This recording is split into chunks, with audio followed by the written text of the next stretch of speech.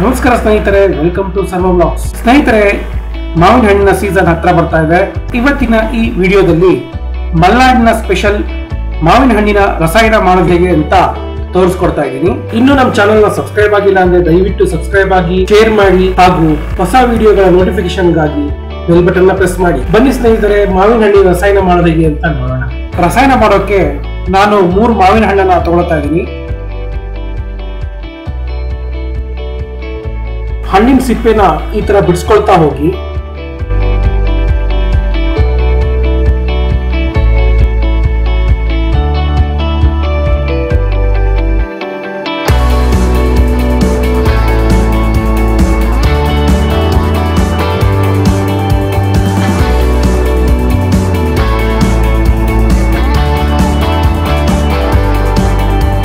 ಹೀಗೆ ಸಿಪ್ಪೆನ ಬಿಡಿಸ್ಕೊಂಡ ನಂತರ ಕೈಯಿಂದ ಮ್ಯಾಶ್ ಮಾಡ್ತಾ ಹೋಗಿ.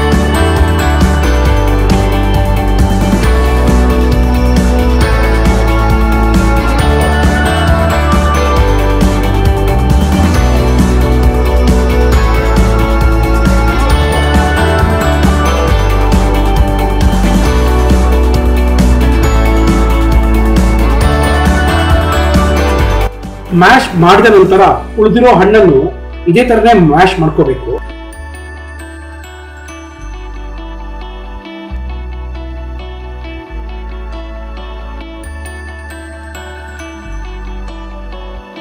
ಮೂರು ಹಣ್ಣು ಮ್ಯಾಶ್ ಆದ್ಮೇಲೆ ಮಿಕ್ಸಿ ಜಾರ್ಗೆ ಕಾಲ್ ಕಪ್ಪಿನಷ್ಟು ಕೊಬ್ಬರಿ ತುರಿ, ಒಂದು ಏಲಕ್ಕಿ, ಅರ್ಧ ಗ್ಲಾಸ್ ಅಷ್ಟು ನೀರನ್ನು ಹಾಕಿ ಉಬ್ಕೋಬೇಕು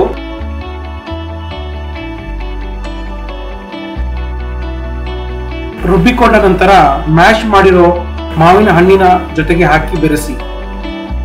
ಒಂದು ಚಮಚ ಬೆಲ್ಲ ಹಾಕಿ, ನಾನಿಲ್ಲಿ ಮಲೆನಾಡು ಕಡೆ ಸಿಗೋ ಜೋನಿ ಬೆಲ್ಲನ ಹಾಕಿದ್ದೀನಿ ಇಲ್ಲ ಅಂದ್ರೆ ನಾರ್ಮಲ್ ಬೆಲ್ಲನ ಪುಡಿ ಮಾಡಿ ಹಾಕೋಬೇಕು ಇದಕ್ಕೆ ಒಂದು ಚಿಟಿಕೆಯಷ್ಟು ಉಪ್ಪನ್ನು ಹಾಕ್ಕೊಳ್ಳಿ.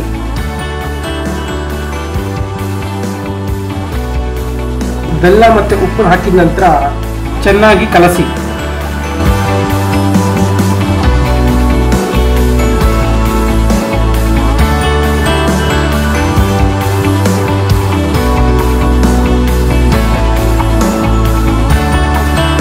ಸ್ನೇಹಿತರೆ, ಈ ಮಾವಿನ ಹಣ್ಣಿನ ರಸಾಯನ ಹಾಗೇನೂ ತಿನ್ಬಹುದು ಅಥವಾ ಚಪಾತಿ, ರೊಟ್ಟಿ, ದೋಸೆಗೆ ಒಂದು ಒಳ್ಳೆ ಕಾಂಬಿನೇಷನ್ ಇದು.